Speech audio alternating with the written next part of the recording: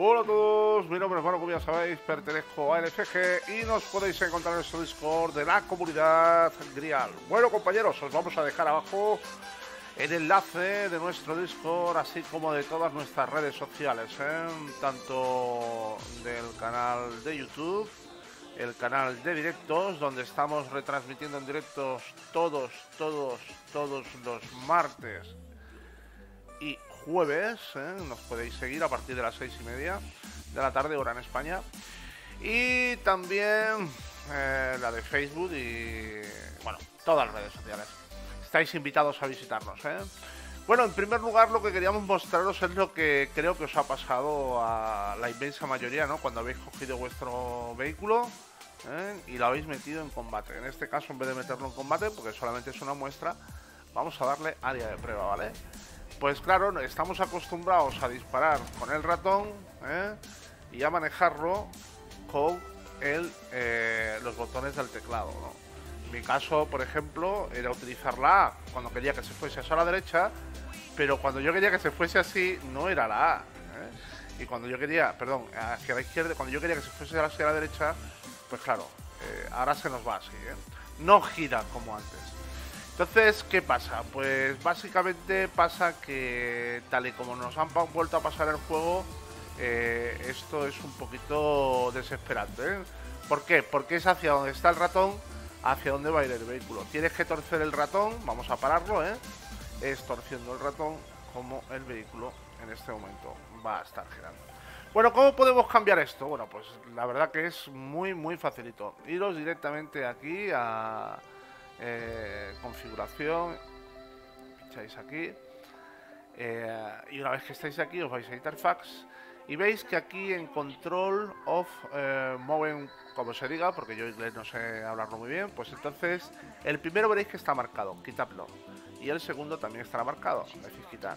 Le dais a aplicar y le decís que ok, ¿vale? Perfecto. Pues venga, pues una vez que hemos hecho, vamos a volver vamos a área de prueba. Y en área de prueba, ahora si os fijáis, giramos el ratón, veis que las armas están aquí girando, pero el vehículo no está girando, ¿vale? Ahora, la forma de girar es, le doy a la ¿eh? y me va a girar mi vehículo, como me hacía antes, ¿vale? Perfecto. ¿eh? O le doy a la B, y me va a girar perfectamente. ¿eh?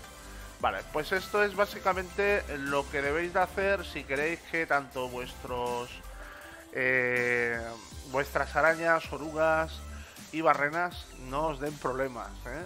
Básicamente es eso. Eh, ahora vamos a ir a otro tema y es el siguiente. Si os dais cuenta la cámara está súper pegada, súper... Bueno, en este caso no está tan pegada porque lo he arreglado un poquito y os voy a explicar cómo lo podéis arreglar un poquito. Pero habréis visto que nada más entrar eh, la cámara está súper pegada, pues muy fácil. Venís aquí, eh, vamos a configuración, en configuración nos vamos a general, no, perdón, sí, en general, y veis que aquí nos pone distancia de cámara, ponerlo a 1 eh, a 1.0, porque os habrá parecido así, a 0.0. Vamos a darle a 00 para ver cómo seguramente os habrá salido. Eh, y ahora después lo vamos a cambiar. ¿eh? Volvemos. Área de prueba. Es que está, está montada. Está, no te deja, no te deja. Le estamos dando el ratón para atrás y no te deja, ¿vale? ¿Eh? Ahora vamos a irnos aquí. Vamos a volver aquí. Vamos a ir a configuración. Vamos a ponerlo a 1. No es que aleje demasiado, ok, volvemos, eh, damos área de prueba, pero por lo menos un poquito sí que está, ¿eh? poquito sí que está, lo veis, ¿no? Por lo menos veis toda la parte trasera. El por qué estos cambios así, bueno, se han hecho muchos cambios relacionados con gráfica, con sonido, etcétera, etcétera, porque eh, el proyecto ya sabéis que es unificar todas las plataformas eh, de PC, Play, Xbox, eh, de crossover, ¿vale? Pues bueno, básicamente os podría decir que esos son los cambios que más la lata os van a, estar dando en principio eh, hasta que os acostumbréis. Vale, eh, otro cambio muy importante, muy importante, mm, los hover. los hover en principio se dijo que se iba a poder, se iba a poner que son única y exclusivamente las cabinas iban a ir de frente, no se podían poner de lado. Al final eso no lo han hecho, pero sí es cierto que los hovers los han tocado, están mucho más nerviosos y si no están muy equilibrados o son muy pequeñitos, eh, suelen tumbarse, ¿eh? suelen volcarse. Seguramente ya los habréis visto en el campo de batalla, de todas formas vamos a coger y vamos a hacer una cosita. Vamos a cambiar este vehículo, vamos a poner uno muy similar. ¿eh? Vamos a poner este. Vamos a entrar, montar, vamos a entrar en batalla. No voy a mirar tanto el, atacar o el destruir, pero sí quiero fijarme a ver si tenemos la suerte de ver dos cosas. Primero, esta la vais a ver sí o sí. Cuando destruye un vehículo, el vehículo se queda ahí. Y es verdad que si es un tocho impresionante como este, mm, da muchísimo la lata, porque lo vas a tener que pasar de forma lateral, ¿vale? No vas a poder pasar por encima de los escombros, el vehículo está ahí. Y segundo, a ver si tenemos la suerte también de ver algún hover en combate y, ver cómo vuelca, ¿eh? para, para que veáis que realmente el movimiento del hover ahora es un poquito más complejo. Es cierto que hay compañeros que me han dicho que están encantados de que los hovers funcionen así porque ahora les da la oportunidad de... es más, más intuitivo ¿eh? que antes. Yo no soy de hover, además que nunca me han gustado, los veo que no, no, no les veo el lugar aquí en el juego. Sé que hay gente que me dirá, no, pero es que pero es que el Hover es un vehículo que debería de estar siempre en el juego. mira, yo no ni te quito ni te pongo, ¿vale? Vale,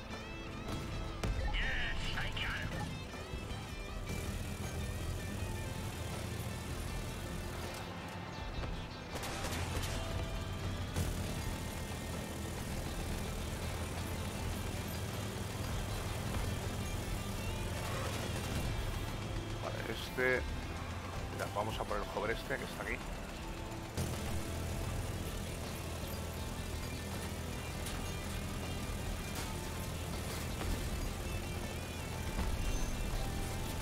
¿veis? ¿Veis cómo se mueve? ¿Veis que no es tan, tan ágil como era antes? Alguien me está disparando por todos lados, ¿vale? Ya me han matado. Normal, si lo tengo aquí encima. Vale, mirad, ahora veis mi vehículo. Mi vehículo, eh, bueno, ya no se ve mi vehículo. A ver un momentito. Vale. ¿Veis? Ese vehículo se ha quedado ahí destruido y el mío, mirad, no está ahí. Ahí atrás, ¿lo veis? Se quedan en el campo de batalla. Y os habéis podido fijar como que el hover no es tan estable como era antes, ¿eh? Para nada, ¿eh? Pero para nada. Eh, incluso si se hubiese quedado ahí y hubiese seguido recibiendo daño en, en los hovers, seguramente el vehículo habría caído sí o sí, ¿eh?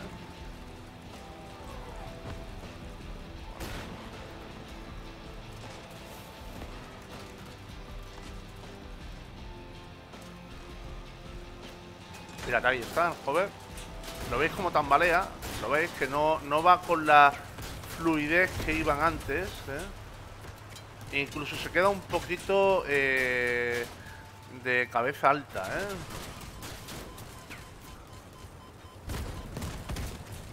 Perfecto, vale. Queda uno.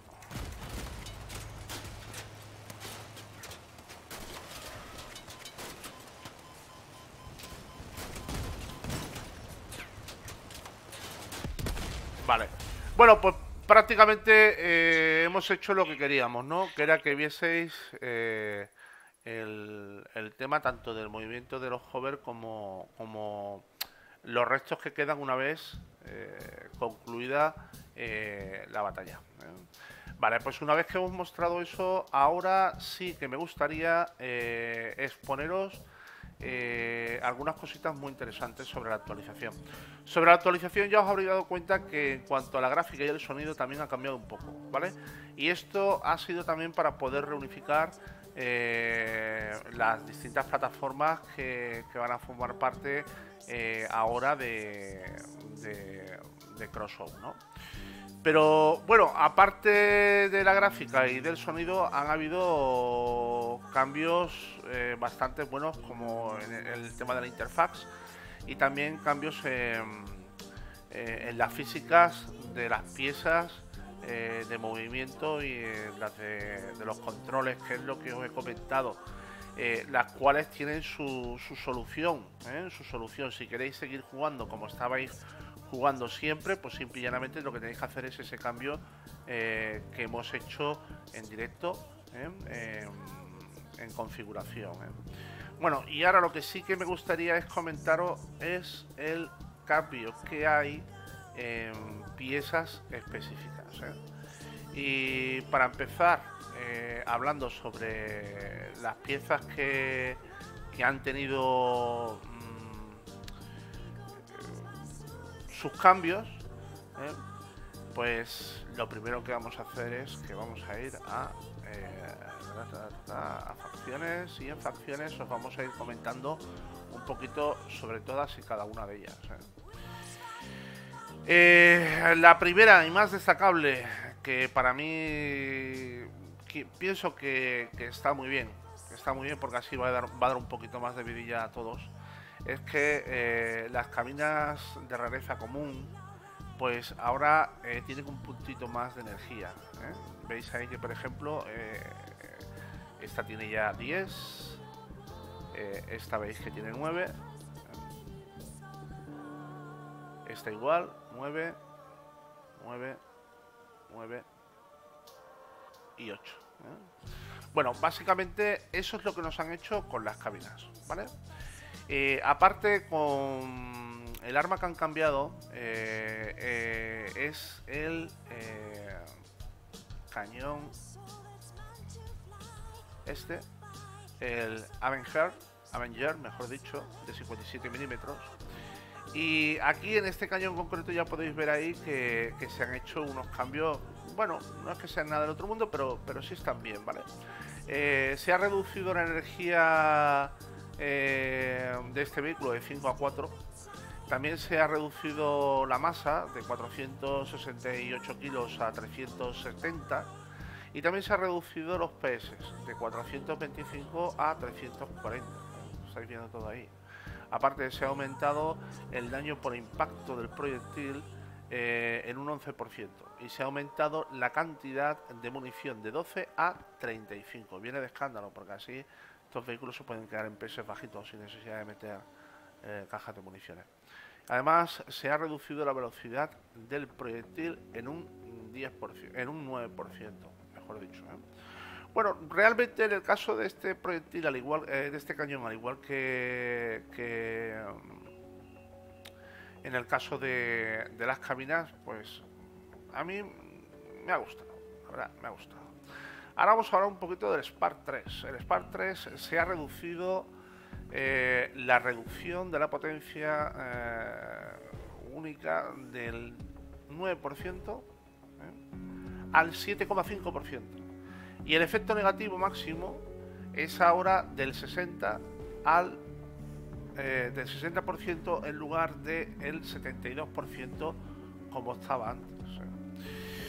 También hay otro cambio, este cambio también me ha gustado bastante, y es que las escopetas eh, Becker, las tenemos aquí, eh, han tenido un cambio significativo y es un cambio bastante interesante, ¿eh? bastante interesante. Y es que eh, si el arma no está disparando ni se sobrecalienta durante 0,8 segundos, el siguiente disparo tendrá un alcance significativamente mayor, menos propagación y mayor daño. Es decir, que es como si el primer disparo, fuese un disparo de de un montón de perdigones, pero eh, sin dispersión, con mayor distancia y con mayor daño. ¿Vale? En vez del último disparo, recordáis que nos hacía, bueno, eh, pues ahora es el primer disparo que realmente lo tenemos que aprovechar. Eh, cuantos más radiadores tengamos en el vehículo, mayor será la bonificación de este hecho que os he comentado. Y la verdad, pues me gusta, me gusta ese cambio porque va a ser que realmente estas, armas vuelvan a ser eh, más competitivas, ¿no? Y ahora nos vamos a ir al eh, 1. El Flysing 1 se ha reducido la reducción de la potencia única y el aumento del tiempo de recarga del 6% al 5%. Además, el efecto negativo máximo es ahora del 60% en lugar de 72%. O sea que es prácticamente cambios muy similares a los que hemos tenido en el Spark 3. Eh, también hay unos cambios que me han gustado, que me han gustado bastante. Y es que si nos vamos a facciones y nos venimos aquí y queremos construir, eh, no sé, si queremos construir eh, armas o lo que sea, el tiempo, ¿vale? No lo puedo, no, lo veis aquí, ha reducido pero os voy a explicar un poquito en general, ¿vale? El tiempo de la producción de las piezas de rareza legendaria eh, en el banco de pruebas, eh, ahora ha pasado que en vez de durar 12 horas, eh, pues va a durar 21 horas. perdón, va a durar 12 horas en vez de 21 horas. Me refiero a las piezas estas que tenemos aquí, ¿vale? Vemos aquí, estas pasan a 6 horas y si nos vamos a otra facción, por ejemplo, a esta, ¿vale? Ponemos aquí y aquí nos dice que son 12 horas, ¿vale? Eh, esto es en el caso de, mm, de las armas, eh, como ya os he dicho, ¿no? De las piezas de rareza legendaria en el banco de, de trabajo. Pero ahora también pasa que de las piezas, como ya habéis visto, de las piezas reliquia, tenemos también ese otro cambio, que es que en vez de tardar como tardaba antes 5 días, va a pasar a tardar solamente 21 horas. Bueno, está bien. Eh, aparte ha habido algunos cambios estéticos, ¿no? Más, más, más, que otra cosa. Es que se ha reformado el modo de, las piezas de las orugas reforzadas y eh, ha mejorado también eh, el modelo de las PQ Timper. Más cambios que hay en el juego. Pues mirad, hay muchos más cambios que se han hecho, pero que realmente mm, no creo personalmente que os, pueda afectar mucho en, el juego. Los cambios significativos son los que os he dicho. El tema de, de, de ver a la distancia, un poquito más a la distancia el vehículo, ya que prácticamente lo teníamos pegado el cambio de la movilidad, el cambio del sonido y sobre todo el cambio en las piezas que os he comentado, que realmente eh, es bastante, bastante interesante. ¿eh? Hola a todos, mi nombre es Manu, como ya sabéis, no olvides de darle al pulgar para arriba si el vídeo realmente te ha gustado suscríbete a mi canal y como no, dale a la campanita para recibir las notificaciones de todos y cada uno de los vídeos que estamos poniendo todos, todos, todos los viernes. Así que, jugar, suscripción y campanita. Muchas gracias, compañero. Bueno, siempre os digo lo mismo. Espero que realmente el vídeo os haya gustado sobre la actualización eh, si queréis más información, pasaros por aquí, por el disco de la comunidad Grial, comentarlo con los compañeros y si estoy yo sin ningún problema os puedo hablar de ello. Pero también si encontráis tanto a Dimoni, a, a Quemero, eh, bueno, hay compañeros ahí que os van a ayudar perfectamente ya que son veteranos en el juego y también están muy, muy, muy al tanto de la actualización.